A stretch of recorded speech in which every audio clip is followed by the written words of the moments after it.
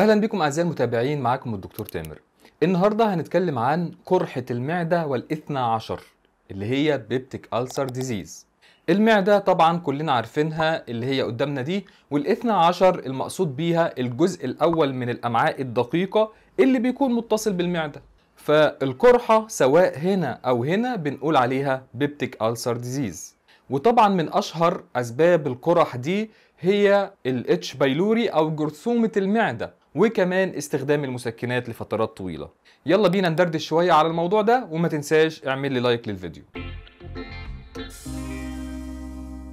قرحة المعدة اللي إحنا بنتكلم عنها دي حاجة غير ال gastritis العادية الالتهابات العادية اللي بتحصل في جدار المعدة مثلا. إحنا بنتكلم عن قرحة قرحة زي القرحة اللي بتيجي في الفم اللي كلنا عارفينها بيكون في قرحة في المعدة أو في الإثنى عشر. وعشان كده التشخيص بتاعها بيكون غالبا بالمنظار. يعني ما تقدرش بمجرد الكشف بالسماعة وبمجرد الأعراض تقول إن المريض ده عنده قرحة في المعدة لأن أعراضها بتتشابه كتير مع أعراض التهابات المعدة العادية ومع ممكن ارتجاع المريء وغيرها من المشاكل. والقرحة ممكن تحصل لما طرق الدفاع بتاعة المعدة تنهار. إحنا عارفين إن المعدة بتفرز حمض. الحمض ده مهم جدا عشان هضم الطعام. طيب ليه الحمض ده مش بيضر المعدة نفسها؟ لأن المعدة ليها طرق حماية. طرق الحماية دي زي مثلا إن هي بتفرز مخاط. المخاط ده بيبطن المعدة من الداخل وبالتالي يحميها من الحمض. كمان بتفرز بيكارب برضو ده بيحميها من الحمض كمان خلايا المعدة من الداخل متصلة ببعضها البعض بشكل جيد فبتعمل عازل إن الحمض ده يتخلخل بينها للطبقات العميقة. كمان في حاجة اسمها الإحلال معناها إن لو حصل إصابة في جزء من جدار المعدة بيتم إحلاله بسرعة بخلايا أخرى سليمة. فكل الطرق دي وظيفتها إن هي تحمي المعدة من الأحماض. فقرحة المعدة ممكن تحصل لو حصل خلل في هذه الطرق والمعدة ما بقتش قادرة تحمي نفسها بشكل كويس. وبالنسبة للأعراض فإحنا قلنا الأعراض متشابهة مع حاجات تانية. أشهر حاجة بتيجي وأشهر حاجة العيان بيشتكي منها هي الإبيجاستريك بين أو ألم في فم المعدة. بنقول عليها المنطقة دي كده بالعربي فم المعدة. حرقان أو وجع في فم المعدة أو حموضة. ده أشهر حاجة بيشتكي منها المريض اللي عنده قرحة معدة. بيميز شوية قرحة المعدة إن الألم اللي بيجي في المنطقة دي بيكون بعد الأكل مباشرة.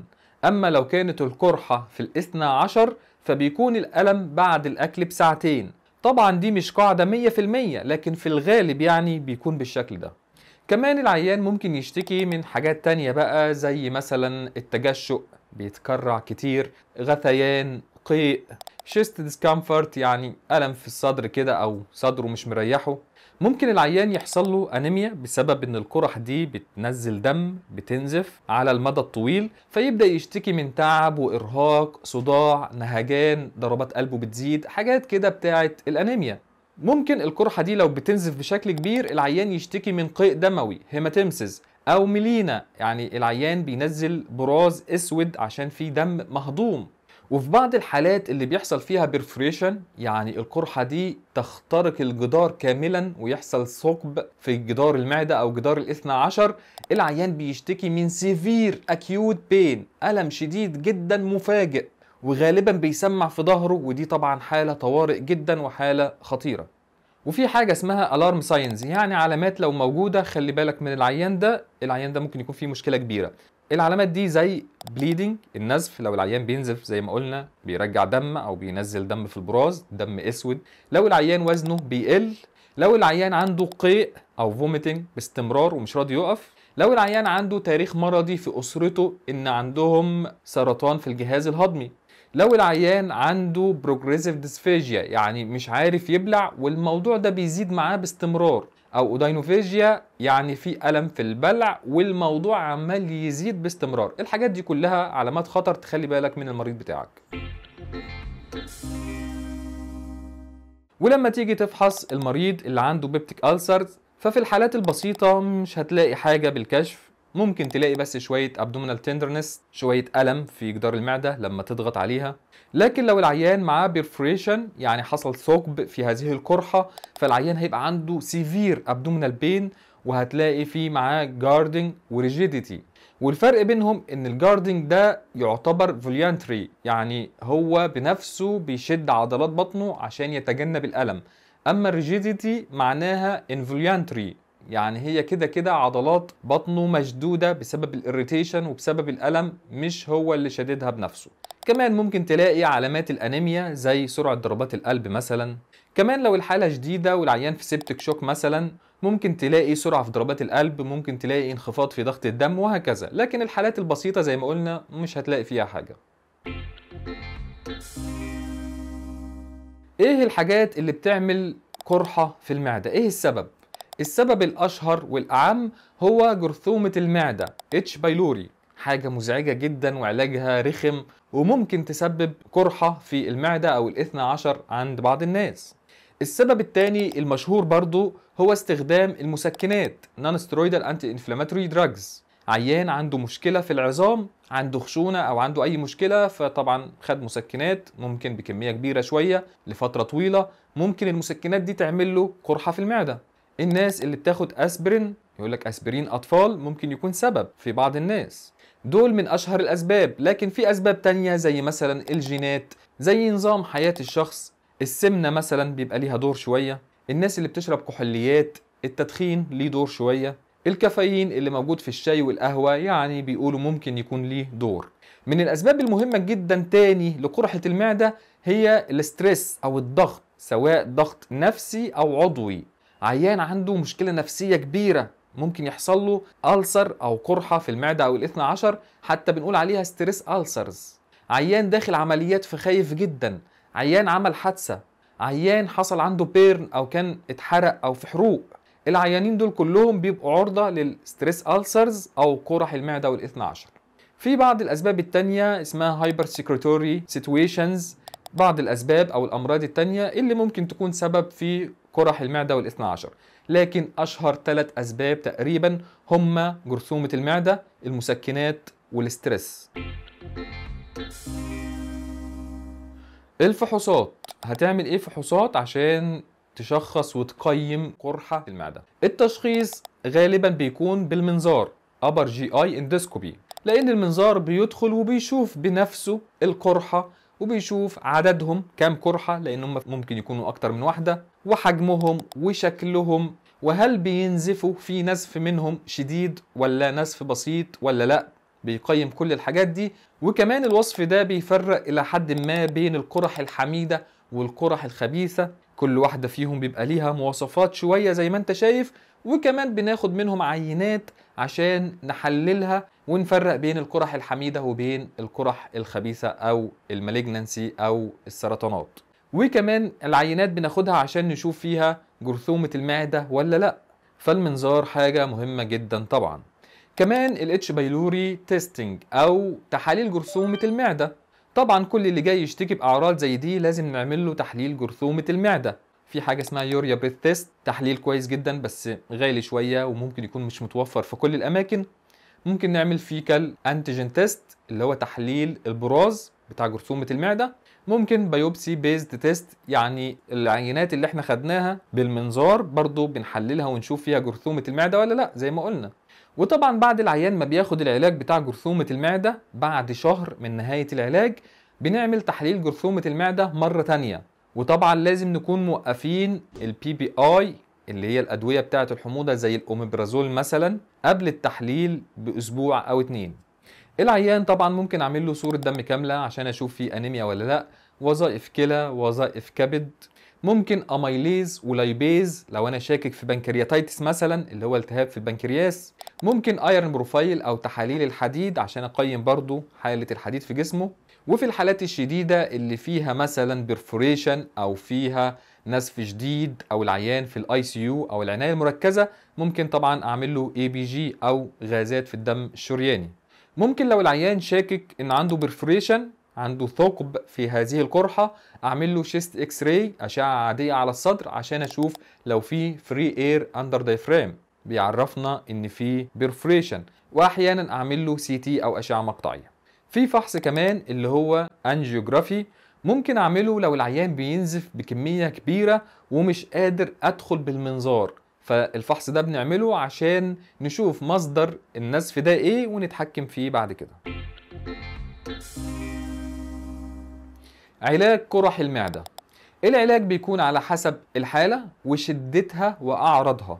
وفي كل الحالات تقريبا لازم هنستخدم حاجة اسمها PPI حاجات زي ال omeprazole وال lansoprazole esomeprazole rabeprazole. دول أدوية بأمان وفعالة وبنستخدمها تقريبا في كل الحالات. يعني أيا كانت شدة القرحة هنستخدم معاها PPI حتى لو العيان عملنا له جراحة حتى العيان لو دخل منظار برضه هنستخدم معاه ال PPI كان في أدوية قبل كده اللي هي H2 receptor blockers زي ال famotidine وال cimetidine وهكذا موجودين لحد دلوقتي وشغالين لكن ال PPI اللي هي ال proton pump inhibitors أقوى وأكثر امانا وأكثر فاعلية والاعتماد عليهم دلوقتي. ولو العيان حالته بسيطة بنديهم oral عن طريق الفم ممكن من 6 ل 8 أسابيع. أما لو العيان حالته شديدة عنده نزف شديد أو perforation أو محجوز في ال ICU فبنديهم وريد. بندي 80 مللي جرام أوميبرازول مثلا bolus. وبعد كده بنمشيه infusion بمعدل 8 مللي جرام في الساعة لمدة 72 ساعة. وبعد كده نبدأ نديله oral عن طريق الفم.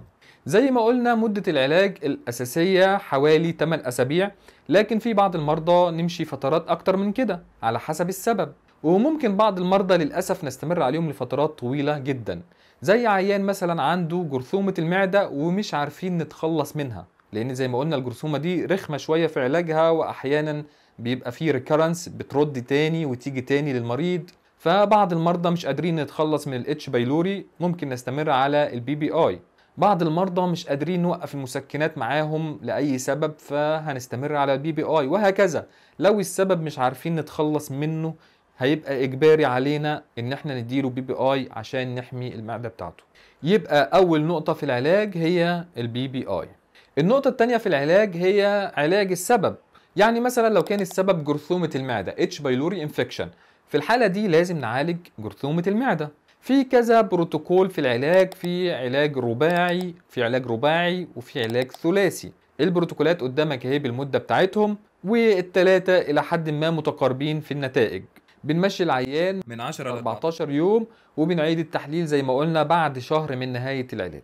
وإذا كان السبب إن العيان بياخد مسكنات non-steroidal anti-inflammatory drugs فلازم نوقفها. طبعا إذا قدرنا نعمل كده أو نقللها قدر المستطاع أقل جرعة ممكنة أو نغيرها لأقلهم ضررا.